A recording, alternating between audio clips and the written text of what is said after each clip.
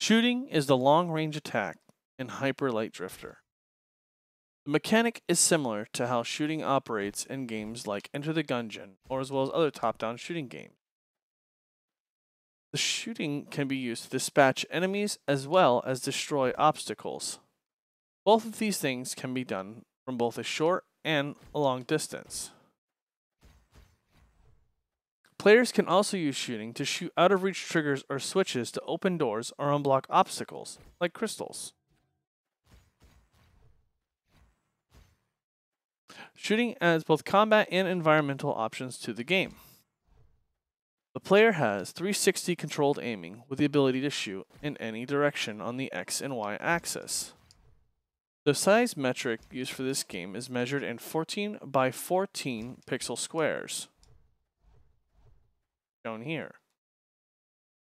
Depending on the shooting weapon used, the bullet range is different for each gun. The base gun can shoot completely across the screen until it hits an obstacle or enemy or even a wall. Another gun, like the shotgun, has a 3x3 14x14 pixel square range. Show you here. Shooting in the game is weaker than close range melee attack.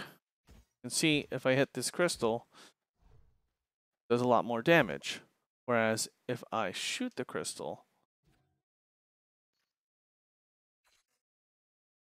it does less damage.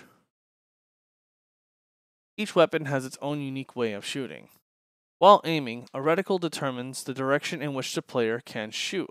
However, while using a controller, the reticle cannot go more than the 4x4 of the 14 by 14 distance of the pixels. So the player must use some skill to aim at the enemies, and in a fast-paced game like this, it's a little hard to do that. Shooting is limited in the game by how much ammo the player currently holds. The player runs out of the ammo, the player can't shoot anymore. But once depleted, they can hit things like obstacles, like the crystals or boxes in the, found in the game, or even enemies to restore the ammo. The more bullets the player has, though, the more bullet shooting they can do. They can actually upgrade ammo in the town while using the collectibles they find in the level. So would you say the base gun deals an average about roughly takes two to three hits to kill an enemy or an obstacle, while the shotgun does large damage over a wide range. For example, shooting has a default firing rate of about one shot per two seconds. Second, why increase the range here.